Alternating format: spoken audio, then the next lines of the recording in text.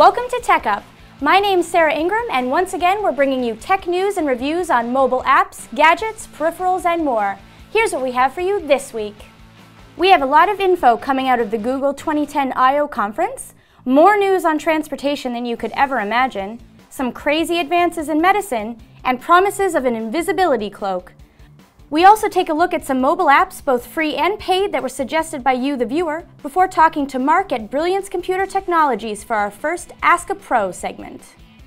Right now, it's time to get caught up on this week's download.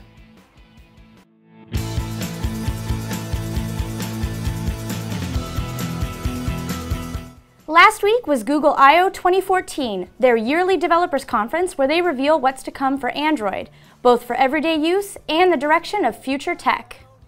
The keynote revealed a huge amount of information, overwhelming the media in the best way possible. Over three hours of stage time had a lot of stuff to cover, so we've made a summary of the best parts. Coming to developers the very next day, Google, as promised, debuted the L release of Android. We didn't get a name, but we did get a whole bunch on what it's all about, including the brand new material design, improvements to notifications, and much, much more. Google showed us the first real step forward since the announcement of the Open Automotive Alliance with Android Auto. With an SDK open to developers, Android device owners will be able to use their favorite apps and services inside supported cars. The spiritual successor to Google TV, Android TV is the latest attempt at conquering your living room. With support for your favorite apps and media services and a whole host of Android games, Android TV has every chance of succeeding where its predecessor did not. Not to mention it has built-in Google Cast support, which is pretty awesome. Android Wear wasn't a secret, announced earlier in the year, but Google I.O. brought more on how it's all going to work, as well as news on the very first devices to go on sale. Samsung got in on the act, despite having so far remained quiet with the launch of the Gear Live, while disappointment could be felt when the Moto 360 was announced for later this year. Much like we get Google Play Edition devices already, well, some of us can at least. Android One looks to be a similar program for emerging markets. Acting as a reference platform, Android One could lead to much more affordable Android running smartphones for markets such as India. Chromecast was given its time in the spotlight. Besides learning how well the affordable HDMI dongle has done, we were also treated to some new features. Soon we'll be able to cast content without being on the same Wi-Fi network and mirror Android device screens in full onto the big screen. These are some cool new upgrades to an already amazing media player. The big Chrome operating system news of the day is that soon Android apps will work on a Chromebook. Google has done a pretty good job so far of keeping the two platforms exclusive, but it was perhaps inevitable that one day we'd see them begin to get closer. It is a lot of information to digest, but there's a lot of cool things coming our way. Your move, Apple. Find that your family's in need of a new vehicle?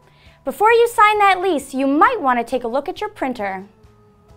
Local Motors has been building cars with the help of community-submitted part designs for years now, but in September, it has far more ambitious plans, creating a working 3D printed electric vehicle. While it isn't clear how much of the vehicle will be 3D printed beyond the body, its limited run and purpose means that Local Motors is able to consider some surprisingly wild ideas. They even ran a contest to gather ideas for design.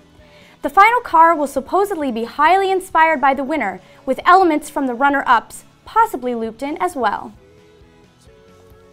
The designs range from very sleek to almost bug-like, and I could definitely see myself behind one of those bad boys, but unfortunately, it's probably not something we're going to see soon. Once you have your new car fresh off the printer, why don't you try driving with your mind as opposed to the wheel? A new car in Germany can be steered with thought alone through BrainDriver, a project that's hoping to bring research into reading and interpreting brain signals into people's cars and homes. The original premise behind BrainDriver was to build a system that someone with a physical disability can use to maneuver through the world. As well as cars, the team has developed the technology for wheelchairs as well. BrainDriver would, in theory, allow them to drive by simply thinking right, left, or forward. In a demo, driver Henrik Motzke drove the car with thought alone, hands in lap, and often at speeds up to 50 kilometers an hour. You also get to wear a really cool looking headset when you drive this car. It's really taking hands-free to a whole new level. Officials announced this week that a long-anticipated SkyTrans system will be pilot tested in Tel Aviv, which is globally famous for its terminally congested traffic. Our hover bikes from last week might be a little far in the future, but these Skycars are slated to be released in 2015. The SkyTrans system uses a series of elevated magnetic tracks from which autonomous two-person vehicles are suspended. Call up a Skycar on your smartphone, and the pod-shaped vehicle will pick you up at a designated station. It will then whisk you off to any other station on the system. After this pilot, there are plans for systems in Europe, India, and the United States. I definitely wouldn't mind relaxing in one of those on my way to work, and it certainly beats the bus. 3D printed cars and driving with your mind might get your blood pumping, but don't worry. A new breakthrough in Korea has you covered with a new pacemaker battery. Improving the lifespan of pacemaker batteries has always been of great concern for developers and manufacturers of the medical device. Currently, pacemaker batteries last seven years on average and require frequent replacements, which may pose a potential risk to the patients involved in medical procedures. A research team from the Korea Advanced Institute of Science and Technology has developed an artificial cardiac pacemaker that is operated semi-permanently by a flexible piezoelectric nanogenerator, which is a self-powered flexible energy harvester powered by your own body movement.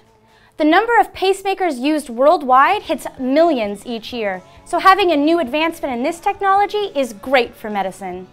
For the first time ever, a quadriplegic man has moved his hand using his own thoughts. Ian Burkhart, a 23-year-old who became paralyzed after a diving accident four years ago, is the first patient to try out NeuroBridge, which reroutes brain signals. The system combines a computer chip implanted in the brain, a brain-computer interface, and a sleeve that transmits electrical signals to the patient's forearm and hand. NeuroBridge acts as a kind of neural bypass taking signals from the brain, routing them around the damaged spinal cord, and taking them directly to the muscles.